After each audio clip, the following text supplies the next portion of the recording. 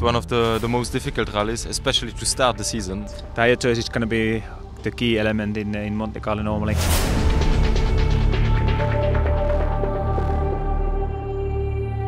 Conditions can change all the time. The altitude changes in the rally.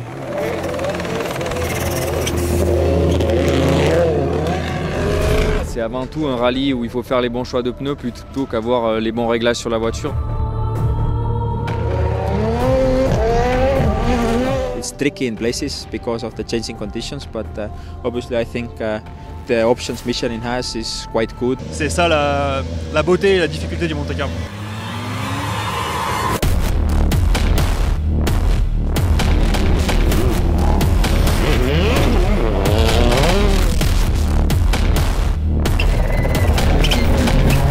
That makes it quite a big challenge for us as a first rally with the new car, new team. It's difficult to, to drive in, in these conditions, but it's fun.